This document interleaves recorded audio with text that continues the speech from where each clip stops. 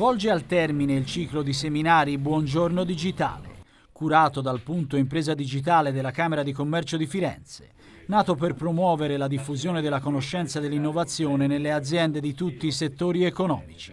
Rebranding, la cultura torna al centro, è il titolo dell'incontro che ha avuto come ospite Tommaso Galligani, responsabile della comunicazione delle gallerie degli Uffizi, che anche grazie ai nuovi mezzi di comunicazione hanno visto una progressiva crescita del numero di visitatori. L'approccio e la mentalità eh, di chi viene agli uffizi, di chi frequenta il museo è già cambiata perché queste strategie hanno senza dubbio contribuito ad ampliare in modo massiccio e significativo il pubblico, soprattutto per quanto riguarda la fascia dei giovani. Noi abbiamo oltre un terzo di visitatori che si stanno strutturalmente inserendo come giovani in museo, che è una novità, è una cosa che prima non avveniva e di sicuro avviene anche grazie a tutti i tipi di linguaggi, di contenuti e di modalità di comunicazione che il museo mette in atto nei loro confronti interessandoli. Tante volte capita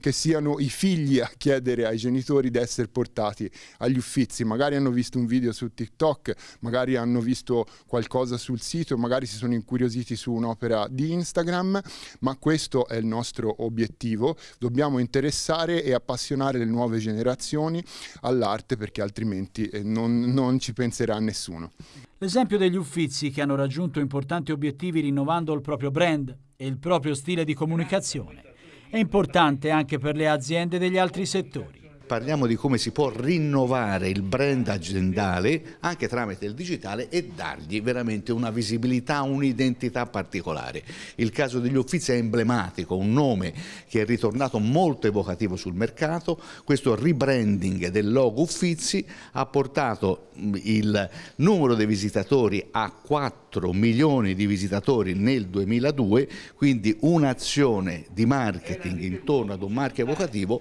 un esempio per tutte le imprese del territorio. Il ciclo di seminari si unisce al consueto servizio offerto dal PID All'interno della Camera abbiamo anche un importante, della Camera di Commercio di Firenze, un importante servizio di consulenza che riguarda invece la tutela eh, della proprietà eh, in, in, intellettuale in questo caso, quindi marchi e brevetti, quindi registrare un marchio oggi è fondamentale per la politica di brand e di rebrand, eh, può avere anche un'agevolazione all'interno della Camera di Commercio perché ci sono a disposizione per dei primi orientamenti dei consulenti della proprietà industriale in convenzione eh, su appuntamento per le aziende aziende, quindi bisogna rivolgersi al nostro ufficio marchi e brevetti, eh, quindi brevetti chiocciola eh,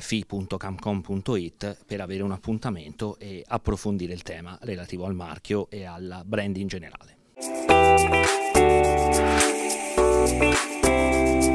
Acquisti Verdi sono in programma tre webinar organizzati dalla sezione toscana dell'Albo Gestori Ambientali per spiegare i criteri ambientali minimi per gli acquisti nella pubblica amministrazione Primo appuntamento il 23 maggio, a cui seguiranno il 13 e il 27 giugno. Per gli interessati visitare il link dedicato del sito oppure cliccare sul QR code. Mercoledì 24 maggio webinar gratuito dalle 14 alle 16.30 sulle merci extracomunitarie in esonero totale o parziale dai diritti doganali, ovvero i regimi speciali dell'importazione temporanea, che consente alle imprese europee di effettuare lavorazioni presso aziende extraeuropee. Gli interessati possono visitare il link dedicato sul sito www.fi.camcom.gov.it oppure cliccare sul QR code.